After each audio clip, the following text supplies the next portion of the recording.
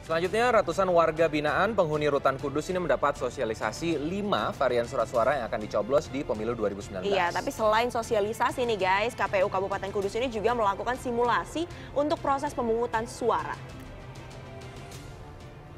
Ya, KPU Kabupaten Kudus dibantu relawan demokrasi gelar sosialisasi ke warga binaan Rutan Kelas 2B Kudus.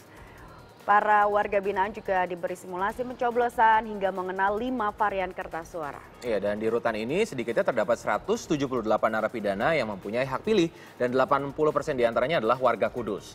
Dengan adanya sosialisasi dan simulasi ini, warga binaan dapat menggunakan hak memilih sesuai dengan pilihannya.